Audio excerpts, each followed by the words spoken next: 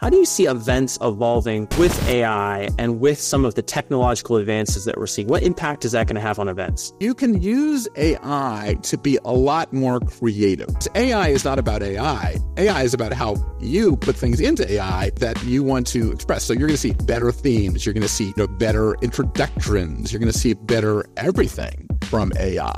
I mean, that's just one aspect because I, you know, I believe in the content side. I think it's going to drive efficiency. I think it's going to um, make it so that, you know, our ragtag band of a few people can do the job of 10 people as opposed to feeling stressed out. It's going to make it more interesting.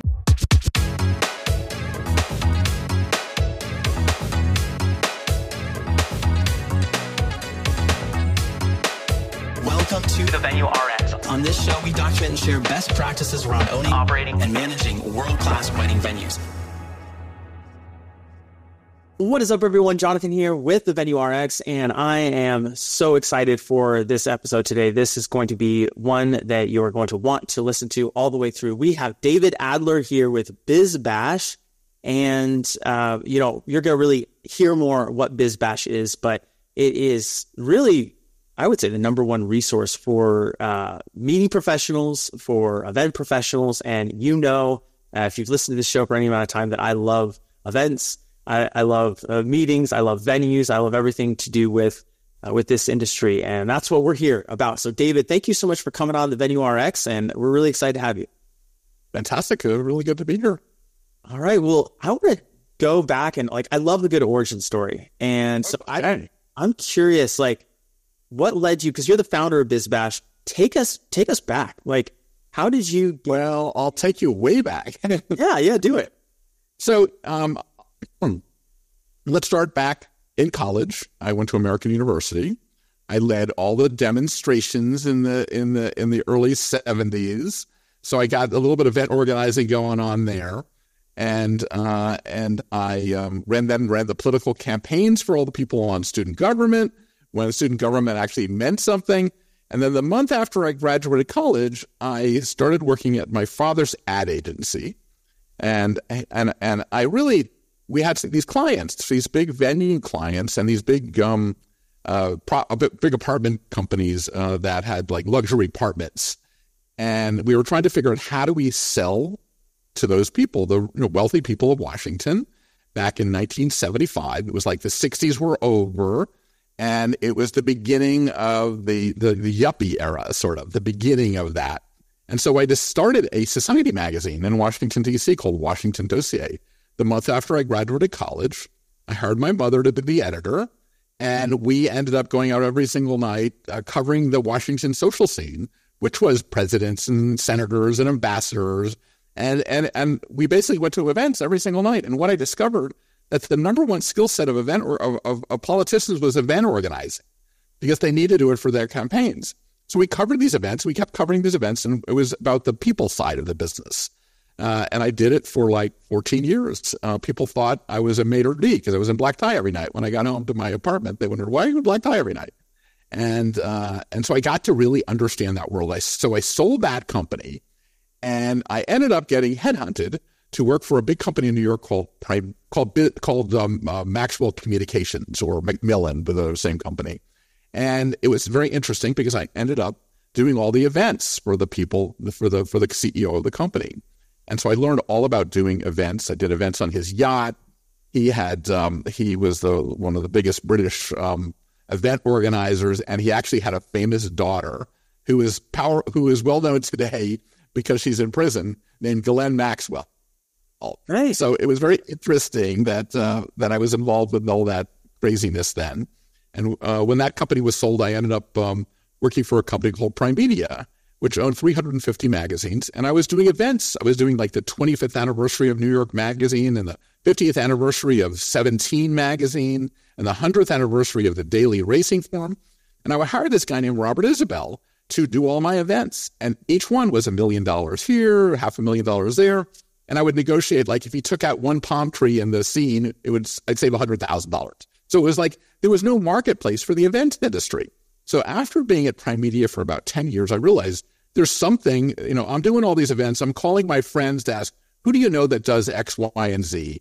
Um, the event organizers and the and the event planners, own their Rolodex as their secret sauce. And so what I did with the internet coming around in the night in, in about 2000, actually earlier than that, I started a, um, a company called BizBash. And basically what we did is we would go to um, events and say who did what at the event. And it was all public because you go to an event, you see who is the who is the uh, florist and who was the decor guys and who was this. And those were the things that were kept secret by all the event planners. So I took them and just disintermediated the event planner at the time and would publish here's the event and here's all the people that worked at the event. And so what happened was it became a creative source for people to say, oh, I like that idea. I can do that. And so we started doing editorial with kind of an attitude. Like it was, we were like very, not snarky, but we were like, we, we did it with a, a cachet. And people started living. We did it in New York. I did it for like five or six years in New York. And then a friend of mine uh, said, Oh, I want to do it in, in, in Florida. I want to do it in Toronto. so I licensed them to these other markets and I helped them with the licensing program. And, you know, it was, it, it didn't really work out that well because they didn't keep the same level of quality that I left. And uh, so at the, at 2007 during the, um, during the, um, uh, the downturn, I bought them all back um, because everything was kind of falling apart in the world and just then started, you know, we started covering events. We started, we putting out a magazine after we started digitally. It was all digital at first. It was a newsletter that went out every week that said who did what in New York events. So people wanted to be in the club. They wanted to be the, in the, you know, they wanted to do the MTV after party and they wanted to, you know, do the wedding. That was the coolest wedding ever. They wanted to do Michael Douglas's wedding and they wanted to see who did what else. And so it was also built on a business that my father had started in Washington called apartment guides. Apartment guides were a way to see what rental properties were available by the year. And so I thought this is the way it connects to venues. I would create a directory of instead of by the year, how do you do uh, uh, an apartment guide by the hour? So venues sell by the hour. So I started creating lists of venues saying who did what at the venues, and we covered an editorial, and people started using that to find out where they wanted to do their next event. So we created a guide, basically. Hmm. And the guide had an editorial complexity to it that connected uh, who did what with the directory of where the event venue was. So you were able to have this circular thing to see who did what, who did the venue, who did the event, and it kept going back and forth because we would list all the events that people did. And and that way people wanted to use the vendors that were part of the biggest events in New York.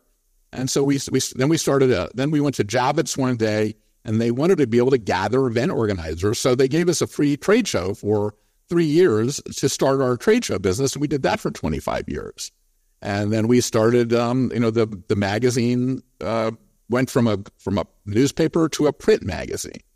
And every year we added a new city. We started, we added, we added Los Angeles, we added Toronto, we added uh, Washington, we added Boston, we added uh, Miami.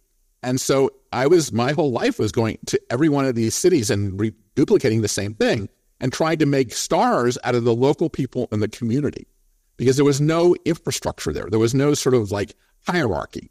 And so that's what I basically did. I, created this sort of community out of these local communities and we were able to give it the sort of the sauce that made it cool we'd cover the stories and we would, you know, we would give out awards. We would do um, a Hall of Fame events where we'd honor the people that uh, worked in a particular marketplace. But I did realize that the marketplace is very local. Uh, local is very hard, so you have to replicate yourself. So we were we we we did our trade shows in New York, L.A., Toronto, um, Chicago, Boston. Why, We never did one in Washington, but but but that's the way we built our brand. And it was a fantastic, and it's, it's a love brand because people love the idea. Our people in our industry love to see what other people are doing. So I call it, we peek over the fence to see what other people are doing because you can't get into someone else's event. So that's why I did, you know, that's what the origin story of BizBash is. And it also made me realize that event organizers can't be event organizers anymore. They have to be collaboration artists. They've got to look at the higher level of why people connect, whether you're at a wedding, or whether you're at a uh, you know a conference or whatever, there has to be a purpose and a meaning for everything because we're in the most powerful industry in the world. And I always say we're not in the event industry anymore. We're in the goosebump business. We're in the business to get people to feel excited so that they connect. And then they use this word I call the most powerful word in the English language is let's. Because whenever people have a conversation, they say, let's go to lunch, let's go to dinner, let's hook up, let's ha- start a revolution. So the idea is the, the name of my book is called Harnessing Serendipity, which is ultimately an oxymoron, but it's not for event organizers because they're setting the table. Um, and then the then I also worked. I ended up getting recruited to be sort of the um, creative director for the State Department, and uh, when Barack Obama and Hillary were there, and I ended up sort of helping them by creating, learning about how they use soft power. Soft power is the hottest thing going now because it's the things that people didn't take seriously forever, and now all of a sudden, what they serve at an event is very important. How to connect people is very important. Moving the antiques around so people have something to talk about. You know, creating decor that promotes conversations. I mean, it's all about sort of how do you use this this ecosystem to connect people, to create ideas. Even at weddings, for example, when you sit people at tables that don't know each other, they start these conversations and they say, let's talk about that. So I've seen numerous businesses start, numerous ideas happen not by focusing on the bride and groom, but by focusing on who's attending and mixing these families that never necessarily talk to each other or their friends. So you have a whole, a whole, it, it, it it's a storm. You know, it's the really the perfect storm of creating collisions that may be, that change the world. Hey there, thanks so much for watching or listening. I wanted to take a moment and share about Common Sense Events. Common Sense Events is my company that professionally manages and operates venues all across the United States, and we're looking to work with a couple more venues this year. If you own a venue in Tennessee, Alabama, Georgia, Texas, North Carolina, we are looking to work with you. Our company comes in and takes care of the marketing, the sales, the operations, we hire all of the employees, we manage all the employees, and primarily our agreements are based off of revenue share models. So it's a very affordable way to have your venue professionally managed. And this is especially good if you're thinking about retiring, selling your venue, but maybe you don't want to sell the land, or you're looking for another management option than you currently have in place. If you're interested in this, please reach out by email at venues at cseventservices.com, or you can also click the link in the description of this video or podcast. We'd love to hear from you and look forward to seeing if there's a way for us to serve you. So, David, I mean, while you were talking, my mind is exploding with with other questions and just it's incredible what you've built. I mean, just it, because it's so true. And I never thought about that. Let's let us let us together. We're doing something together, and it, you're totally right. Families are made, revolutions are made. Right? There's such powerful things happen at the apex of let's let's do it. I love that. So the the first question I have for you, as as a result of of this, you're in the early days. It really sounds like you were breaking kind of a mold. The the event planners had their rolodex, like you said, of favorite vendors, and you were putting that on display in a, in a public way that hadn't been done before. Did you get pushback or was it did it feel countercultural a little bit to what totally. They, some of some of the old liners hated us. Um, and we also did this really odd thing in media and in journalism. We told the truth. Uh, so we had like we went beat up on chelsea piers because it was like hard to get there. And you know what? It was. Uh, because you had to go through the traffic. And then you know what happens is they get they get mad but then they realize if you're an authority this is what people are going to listen to so I believe in that church and state thing totally in journalism. And I grew up in, in that world. I when I did my society magazine, I had libel lawyers all the time because we went after, we didn't go after them, but we said, told the truth about what was happening in Washington. And um, I totally believe that your authority and your your sense of integrity shows in everything that you do. And so we also went about I went about trying to fight the kickback business. That's totally huge in our business.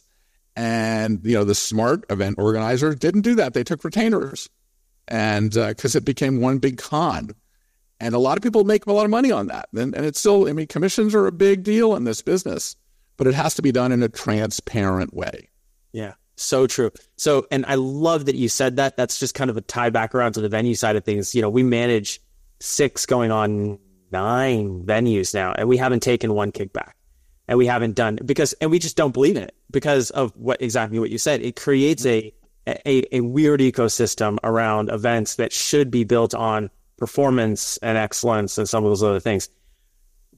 David, I want to ask before we get on to because there's so much to unpack here, but do you feel like there were any skills that you learned along the way, whether it was in college at American or whether it was, um, you know, through those initial job opportunities that you had that you carried with you throughout every single role you have?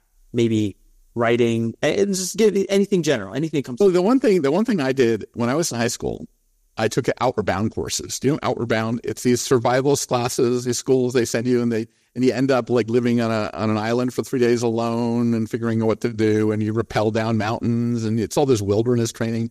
And it, it took my grades from C's to A's uh, because of the confidence that you got. But it also makes you realize that I, I like to use this this line that you know it's good to keep the canvas wet because you never know where if you if you just if it's if it dries up you just don't know where to go but you want to be able to have the ability ability and flexibility so i learned uh, at an early age that you have to be entrepreneurial and read the room and listen to the room and be very observant to see what people want to do in the middle of while you're doing it so you can change on a dime especially in our business so, you know if i was making you know you know dramatic television, you don't want to do that too much because you have a script and everything. But in our world, you have to see what resonates. And so what I learned, I think I learned a lot about that. I learned a lot about talking to people and saying hello. I used to be shy, believe it or not. And, you know, going to an event and say, hi, my name is David Adler was painful. Was very hard to do. But then I got the confidence to be able to do that. And talking to people is unbelievable when you think about it. Do you as you're going through your career and you're switching from someone who's learning to now someone who's producing something huge that people are learning from, did that ever leave you? No, I'm learning every single day. I am learning. I stay in touch with younger people. I am a big TikTok fan. I learn so much about everything on um, social media. I am AI crazy. I just created, I create videos every day on this um, InVideo.ai type platform, and I and I'm learning everything about the difference between um, uh, ChatGPT and Claude, and I'm trying to keep up on that because if you don't, you get stale. I uh, have this new thing. In fact, I was at in Vegas a few weeks ago, and I was sitting with a friend of mine over my $19 hot dog and I she told me about this concept called that that actually she told me about this concept and then I changed my entire presentation. I used AI to help me do it. A concept called a perennial. You know what a perennial is?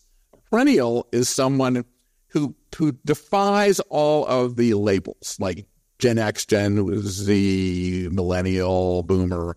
Like a perennial blooms every year and is curious about everything. So it doesn't matter what age you are. It doesn't matter, you know, what what uh, what your label is. If you're a perennial, you're the kind of person we want to have at events because you're the one that knows how to talk to people and is curious about everything. And so I'm even working on doing a perennial festival somewhere, like I guess South by Southwest for that, um, because I think that that you know boomers are that that like to hack, you know, living longer, and and Gen Z are curious about everything, and you know, it's all the same thing, but you have to be open to it. You can't get stale.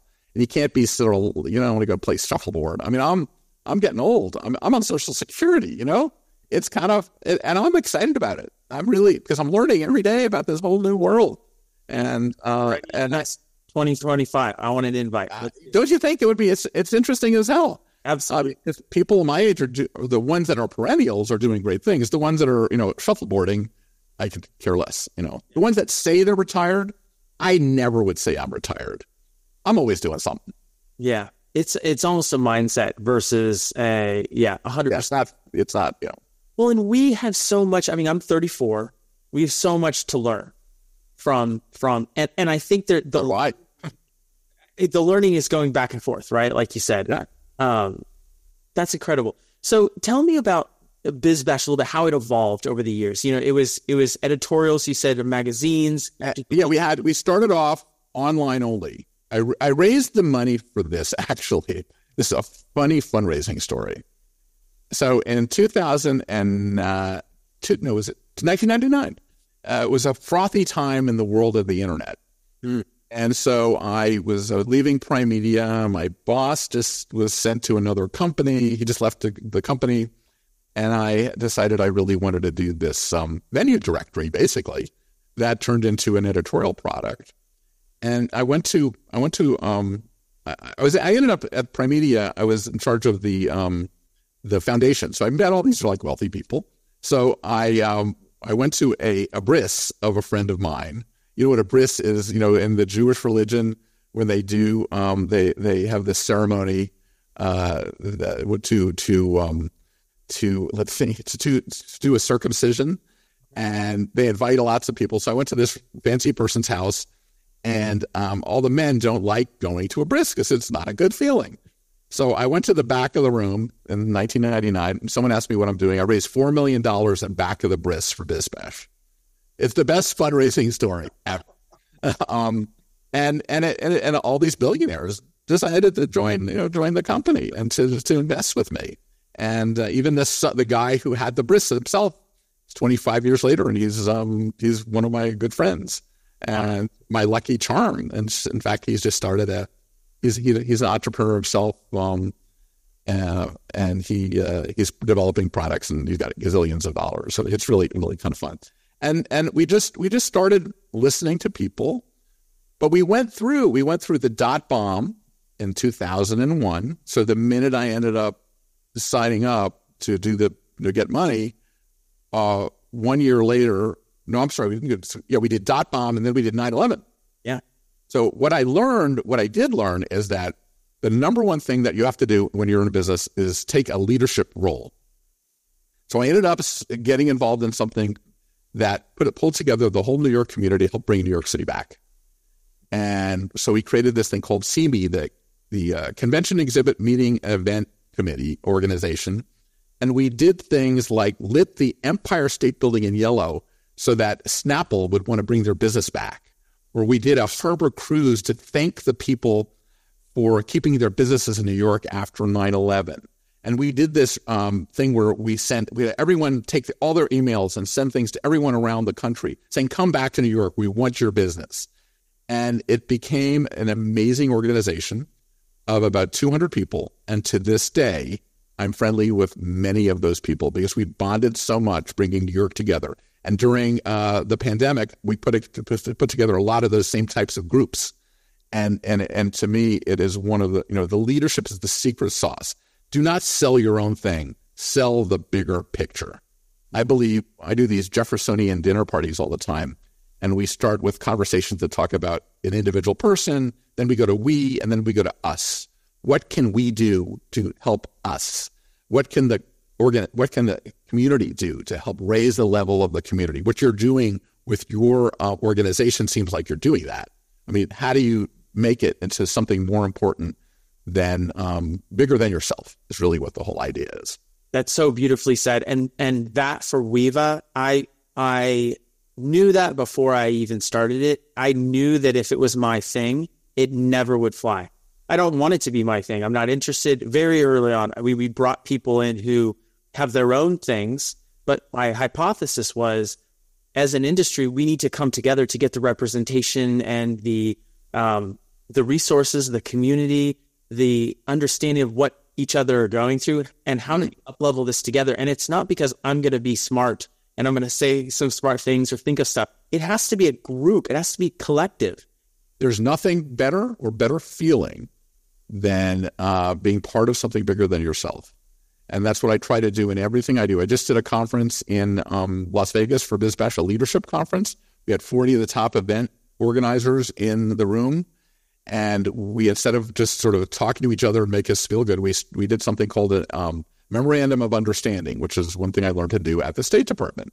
And so we came up with 12 different points of what is so important about what we need to solve in the event organization, in the event world. And um, we actually came up with a couple of new things, like we want to start uh, approaching uh, digital health we want to start. We think that's going to be a big thing in the event in, in, in our in our industry that we can help solve, like people being on their cell phones too long, you know, yeah. using cell phones and not being present at the event, that type of thing. So we're taking that on as one of our 14 things.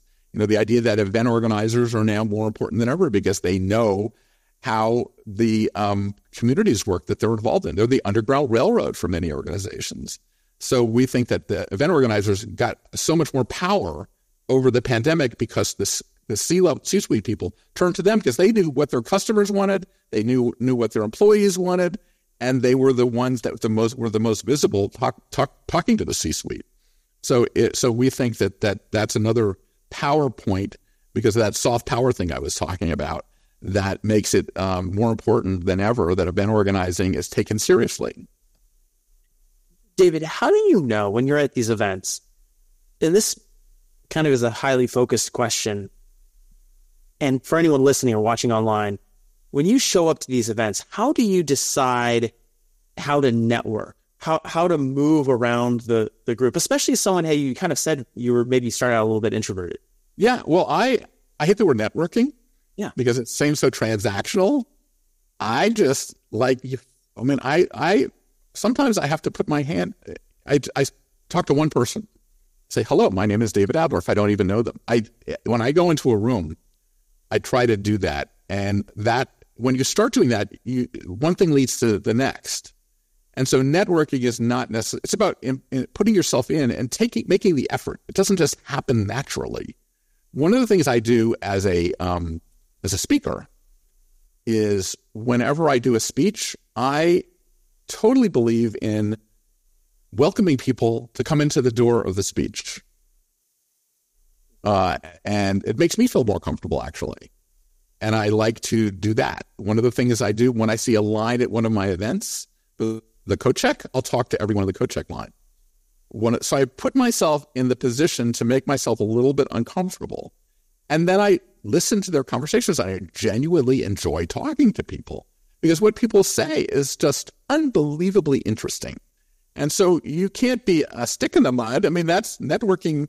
You have to give and you have to take. And you have to be willing I mean, that's what I don't judge an event now by how many people attend, but how many conversations I'm curating. And uh, and that's that's a, big thing I do. And then I, and one of the other things I do at my events is I start off. I learned this from Scott Heiferman, who did Meetup. I the way I say how many people are, are how many conversations is I say, okay, for the first ten minutes, why don't you talk to the person next to you before, rather than listen to me? because you're creating a thousand conversations in a period of five minutes. Uh, and and you have to give permission. Like when I, I also say that that I like as a guy, like I won't even have eye contact someone with the person sitting next to me. But if someone says talk to the person next to you, I talk to the person next to me. So we need a little bit of a prompt to get us to do the right thing and to make these events successful. So it's not only you as the networker, but it's the network, you know, the you know the guy that's the organizer. Like that's why I, I kind of like having receiving lines, because most people go to an event, especially in your era, your age group, they never talk to anybody. Uh, but at least if they're meeting the host, then they've they've broken the ice a little bit. So it forces you to speak to someone because most people, especially in today's world, there's this lack of um, uh, protocol and etiquette about what you're supposed to do when you're at an event. You're not supposed to sit there with your, you know, your phone doing, you know, looking and, and not talking to people. Yeah, yeah. People do that all the time. And I fall into that too. I mean, and I, it's a safety, it's a safety thing. Um, so you drink. It's the new yeah. Drink, right? Like it's clutching your drink. Well, oh yeah, yeah. Your phone and you're just kind of, you know.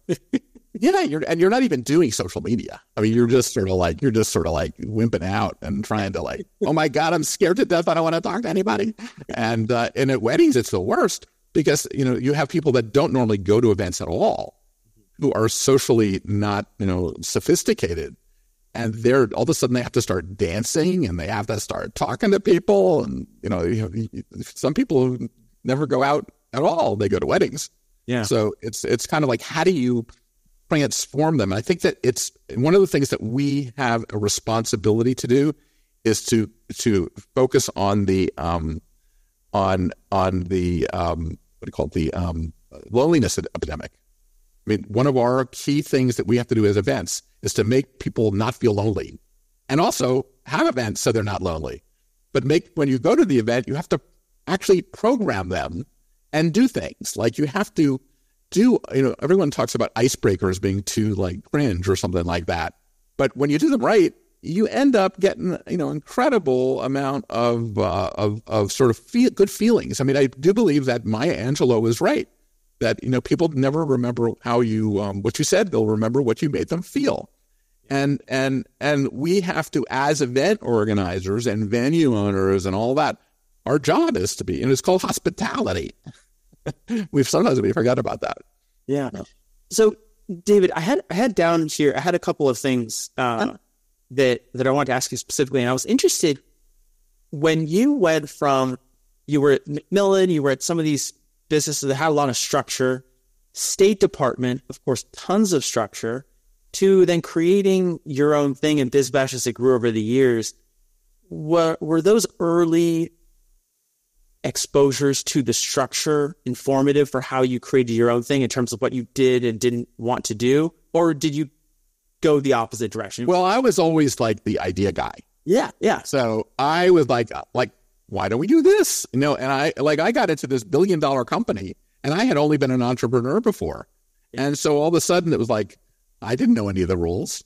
So the they loved that actually because um, I was able to come up with the ideas that we owned this thing called Channel One, uh, which was you know TV in the schools, and I came up with why don't we honor Steven Spielberg and doing you know it was like things that using the event industry, the my event knowledge to help sort of change the world uh, that I was in. But I also, you know, I think that it, it's it's all about. I mean, accountants are good to be good accountants. I mean, I was there brought in to be a change maker, and I do that in everything I do, and I don't mind. And I don't get ego. I don't have an ego with my bad ideas either. Like you know, there's many bad ideas and I have good ideas. So, uh, so I try to try to try to just keep going and not you not worry about you know, I don't, the judgments are not something I worry about too much because you're to, you're not to bat 40%. Yeah. Hey there, pardon the interruption. I wanted to take a moment and share with you about WEVA. WEVA is a professional association we started last year for venue owners and operators. It stands for Wedding and Event Venue Association, and it's the first professional association for venue owners and operators, specifically providing resources, education, and networking opportunities for venue owners and operators. Let's face it, owning a venue is very difficult, and if you own or operate a venue, or if you're considering owning or operating a venue, you need resources, networking, and a community that understands and supports you and your goals as you continue to grow your business. WEVA is just that. We've built it to be a support to you as you grow your venue business, and we want you inside of our community. So if this sounds interesting to you, please click on the link in the description in this video or wherever this video is linked, and we would love to welcome you into the community. Take me to uh, so one of the things, and you kind of already addressed it a little bit, but I want to I want to just ask the question and kind of see if there's anything you want to add to it. Because of the duration of time that you've been in the events industry, you've been through a number of economic cycles, obviously huge tragedies in our country as well as um, you know ups in the event industry as well. So you know we had the dot com bubble obviously was great, wonderful in 1999, 1998, then 2000, 2001, obviously with 9/11. Then we get to 08, 09 with everything that was going on right there with finance and real estate to COVID. You know, so you've really seen from an event lens oh the impact. And this is something this is like the main question I want to ask you. What impacts have you you've been in long enough to like kind of maybe get rid of some of the noise? What pieces of wisdom would you pull out of each of those difficult times in our industry that event professionals now can hang on to as we're getting out of the ripple effects of COVID and maybe looking at some people say there's a recession, some people say there isn't. Regardless, what things can we use to continue digging into our businesses and, be, be successful? Well, the one thing that the, the common denominator is people want to connect.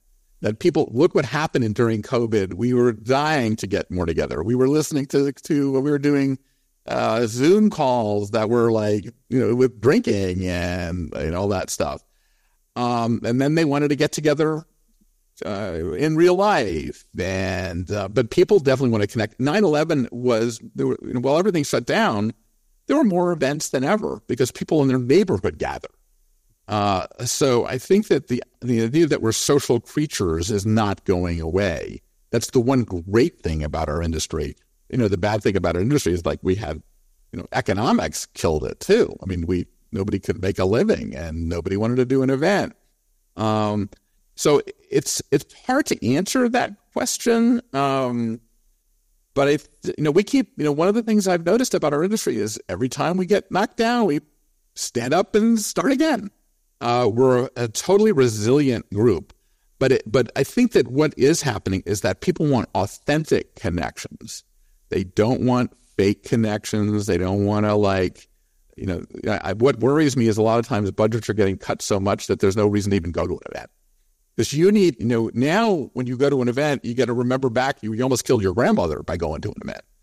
You know, so so they have to be more purposeful, I think, and they have to be more worth your time. And then with AI, I mean, I been, I went to some conferences that I wanted to kill myself because they would drone on and drone on and drone on, and now with AI, you can sort of contemporize everything and make everything tighter, or make everything more interesting by better planning and I think better formatting of the events. Because I, I believe that we need to create digital formats for everything um, from like unconferences to weddings that aren't that would you know you want to kill yourself at because they're so boring.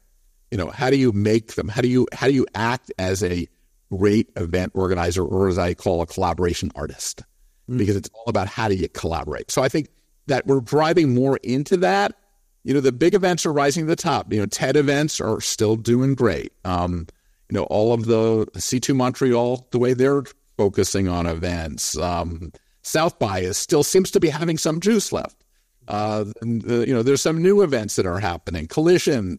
I mean, it's the it's the it's the event organizers that are adding more spice to things, and I mean it's not spice in the, the way some people think of spice. I mean making it like you want to really go, and it's intellectually stimulating and that you're building your social capital, you're building your intellectual capital. I was on a, um, I was on a, uh, you know, at the State Department. I helped raise twenty-two million dollars for the eighth floor as a museum. So we had we had uh, Henry Kissinger interview Hillary Clinton on stage at the in at the State Department. So Henry says to Hillary, you know, Hillary, you're the Secretary of State. Every day you're drinking from a fire hose, and all you're doing is spending your intellectual capital. What you need to do is you need to to start uh, saving your intellectual capital and earning it by going to conferences and events and academics and studying, so that you can afford when you're drinking from the fire hose to actually spend the capital. And so I view events. It changed my whole view of events. It's it's it's it's it's, it's investing in yourself. And so people need to go for the right reasons, and people need to actually uh, be programmed correctly. I have a big problem with sponsored content at events. That sometimes you're going to an event and it's all the sponsors that are giving you the, the, the curriculum. So I think that there has to be more thoughtfulness and more um, credibility uh, in the content that's given out at conferences and events and everything. When you say thoughtfulness, do you mean the opportunities to connect with other event participants? Like, well, say that again. To, when I, say the beginning of your question. When you say thoughtfulness, do you mean thoughtfulness? Yeah. Do you mean the way to to have natural, meaningful connections? Like I'm going to bump into you, David, and and we're going to strike up a conversation versus being poured through a you know loudspeaker in a sense, visually as well as auditorially from all the sponsors. Is that what you're talking about? Yeah, yeah, no, I, exactly. I mean, the, I mean, the sponsors could have great content, but they may have to. They need to know how to program the room properly. They need to know. I think that people are craving intimacy. So, ha- and our job as event organizers is to scale intimacy, to make people feel that they're they're they're they're part of a thing bigger than their cell themselves. That they make. If you make one friend at an event, that's the best ROI you can ever get. You know, if you meet one person, if you have one conversation, if you get one set of goosebumps, you know, or if you see something that's inspiring, that makes you say, I'm going to change my life because I just learned about this. I mean, that's what we have to offer as event organizers, and venues are the place that that those things happen. I mean, we we don't take it as seriously as we should. Um, it's really important to to um, respect the fact that these are towers of learning. These are towers of connections. These are towers of networking. This is where people mix and and we need to respect that, and we need to also do it right. Scaled intimacy, like you said, sounds scale scaling intimacy. How do we scale intimacy? Yep, it sounds like uh, harnessing uh, serendipity. Serendipity, yeah. It, it's very. It, it's it sounds difficult. It's a, it is, but as event organizers, that's our job. We have to make people. What's hospitality? When you're what I, what also one of my big pet peeves is CEOs are terrible hosts. They think it's about them. It's about their guest. I feel like Seinfeld.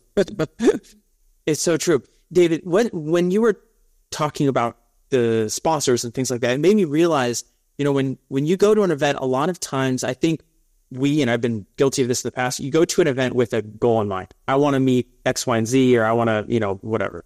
Maybe it's just my friend asked me to go and I want to try the food, right? and so you go with this selfish intention, but you really, if you went unselfishly, you would receive much more than you ever would have been able to receive if you would have gone just trying to take. Yeah. I mean, what about this whole thing about you never know when you're going to fall in love, right? Yeah. I mean, it's uh, where do you think those relationships get kindled? Yeah. You know, so you mentioned AI. You mentioned, you know, you're you're a perennial, right? And may we all be perennials. I love that. I love that perspective. As as you look at the future of events, connections, obviously, there um, with content, AI is drastically changing that that market. How do you see events evolving with AI and with some of the technological advances that we're seeing? What impact is that going to have on events? Um, I think it's going to allow us to be more creative in events. Um, for example, I'll give you something I just did recently. Uh, and it, it, it, is actually about learning too. So I'm a complete political nerd, right? I um, actually had a a State of the Union watching party. Okay. Which not too many people. I'm live. I moved back to Washington after 35 years in New York, and I have all these people in my building who are all former, you know, big shots. And so I said, okay, what can we do to make a difference? So I, I decided, okay, what would we do watching the State of the Union? I ended up researching all of the, the junk food of all the presidents, wrote an article about it, and then I served the junk food of presidents at the event. so you learn about, so you can use AI to be a lot more creative. So I served jelly beans for Reagan. I served, um, uh, I served, um, you know, peanuts for Carter, and and uh, clam chowder for the Kennedys. And so you basically teaching people the personalities of these people to get them to sort of be bigger than themselves. So I think what's going to happen is it's going to open up our minds to do different things because AI is not about AI. AI is about how you put things into AI that come that that you want to express. So you're going to see better themes. You're going to see you know better introductions. You're going to see better everything from from AI. I mean, that's just one aspect because I, you know, I believe in the content side. I think it's going to drive efficiency. I think it's going to um, make it so that you know our ragtag band of a few people can do the job of ten people, as opposed to feeling stressed out and having to. Um, it may not help um, pack um, pack like um, uh, swag bags, uh, but uh, but I think it's gonna it's gonna make it more interesting. I think. I mean, I don't know if that's a good example of it, but it's what I said. But I think that it, you know, the creative people are going to rise to the top because all of the fundamentals, logistics are going to be easier. Mm. I love it. I love it. David, there's no way that we can cover everything that your experience, you know, the breadth of your experience, obviously on this, you know, whatever, 45 minutes, hour that we have together today. Um, but I wanted, I wanted to ask a question that I think will be meaningful for folks who are listening or watching you poured so much into BizBash, into event professionals, into meeting planners, into you know you've you've been pouring into this industry. How do you stay creative? How do you stay fresh?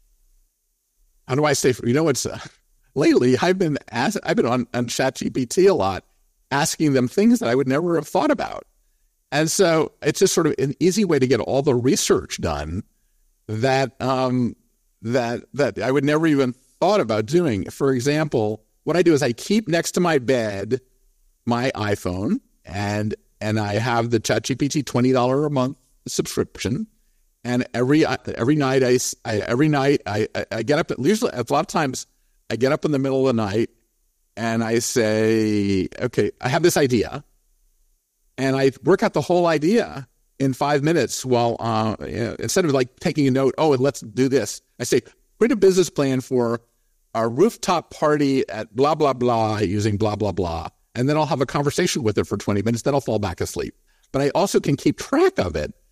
Uh, uh you know, I just did something. You know, I need a cake. Ethel Kennedy's just turned ninety six, and uh, and so I said, let me create a cake for Ethel that I can send to her. And the, and this is what she's like. And this is, and I was able to create the cake for her and then send it to my friend who's her, his, her daughter. Um, you know, it's like I have a, another idea that I'm working on to create um, a uh, at, at trade shows. I want to do a musical chairs thing at a trade show at a trade show so that every chair represents like like let's say we take it I was I'm pitching it to Dallas for example every chair will be a different hotel in Dallas, and each hotel will end up creating their own chair as a piece of art. And and in the middle of a trade show or a wedding or anything else, you do musical chairs. You just do these old things. And I got that from I have these things I used to do called planathons, where I bring 100 event planners together and I have them create events. And so I do a lot of that. I read a lot of stuff. I talk to a lot of people. I do a lot of podcasts. I'm learning everything about technology I can learn. And I just, and I listen to TikTok. I mean, I learn so much because there are more creators and more creative people now than ever. And I think that TikTok is one of the greatest inventions. Uh, Reels, TikTok, I'm just saying that generically. Yeah. If these content creators are just, I mean, I had a knee surgery. I learned more about my knee. I learned more about, you know, like you just learn through this serendipity effect. And, and I think that you got to be open to it. And you have to what read the newspaper. I actually when I read the newspaper, I don't I read it online, but I get the print version online so I can see where the editors decided where they want to place the stories. So I do that because it's interesting. I don't want to just read things um, uh, down and not know what the context is. So I'm doing that. Um, I travel a lot. I you know I travel. I try to. I just try to ask questions and meet people. Yeah, and I, and I also have a lot of conversations with people that like the the the I'm I've got really be, to be friendly with the maintenance guy at my gym, who normally nobody would talk to, and I become his like best friend. And so I think that that's the kind of thing that you got to be open to do. It's like go below your, your station or whatever it is, and just don't be afraid. Yeah, yeah, I love it. I love it. What's what's next? Well, I am heavily into your venue world. I am working with, um, you know, I, I sold BizBash, uh, but I'm still there as the chairman of it and the, pre- and the and the founder. But I don't have as much to do because I don't have to worry about you know any of the little stuff about it. But I'm I'm working with a friend of mine uh, for a new software company called ShowSoft, which is a free venue management software that we make our money based on transactions, and it's a SaaS model.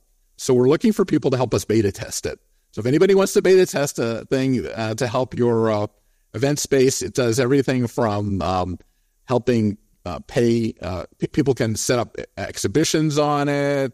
People can buy ticketing on it. It it does almost everything that a good venue management software would do, but it's SaaS. So we've been able to spend a gazillion dollars on creating these in- incredible interactions, and it's kind of like uh, Salesforce for uh, for for sales. Uh, this is for venue management, and it's the idea is that we want to make it so that any space in America can become a venue, and we're going to provide the fuel and we're going to provide the technology to turn your business, uh, your your sort of empty venue into a business. You know, even if it's your basement, that type of thing, if it's big enough, I guess. So it's definitely an interesting thing. I'm working with um, uh, friends in the West Coast on that. It's called ShowSoft, S H O S O F T, and it's a platform for event spaces. I'm doing that. I'm also working on a uh, concept called Living Room Labs, which is a uh, using the. we're trying to reinvent hybrid events. And so you have a, a, space where you have a thousand people on the screen and a couple hundred people in the room, and we're trying to reinvent how that works.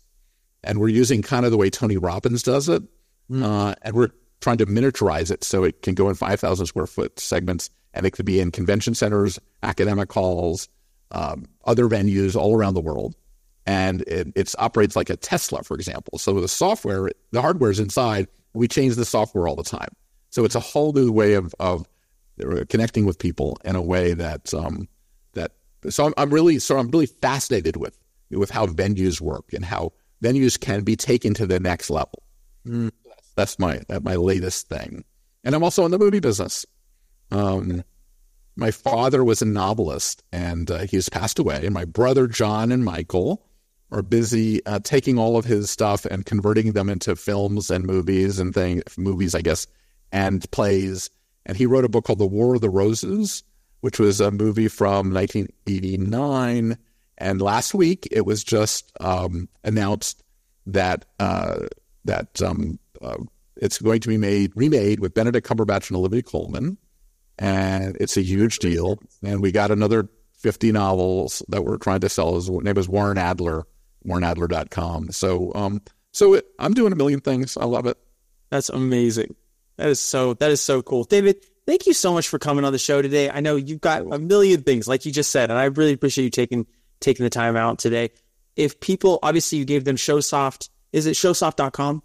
Showsoft.com. Okay, perfect. So yeah, show, showsoft.com. And we can put links to all this in the description below and, and everywhere that it's going to go, uh, as well as for our email list. But I'm wondering if there's a place that people they want to connect with you, maybe about speaking or something like yeah, that. Yeah, yeah. Uh, they can reach me still at uh, dadler at bizbash.com. Awesome.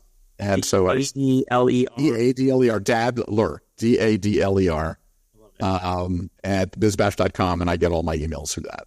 Amazing. Amazing. Awesome. David, thank you so much for coming on the Venue RX today. This was great. Thank you. Hey friends, Jonathan here, and I wanted to share about Common Sense Events consulting packages. If you are a venue owner and you're struggling with your marketing, your sales, your operations, or maybe there's just, you know, you're new to the industry and you want to really have a leg up and get a jump start on getting your business going and not make a lot of the mistakes that oftentimes people make, the mistakes that we made, frankly, when we first started, we would love to chat with you and see if there's a way that we can serve you. Our team has experience working with over 10 venues all across the United States doing consulting. We've hosted hundreds and hundreds hundreds of weddings at this point, and we know what it takes to be successful. If this sounds interesting to you, we would love to chat with you. You can either reach out by filling out the link in the description of the video or podcast, or you can just email us at venues at cseventservices.com, and we would love to chat with you and see if there's a way that we can serve you. All right, back to the show.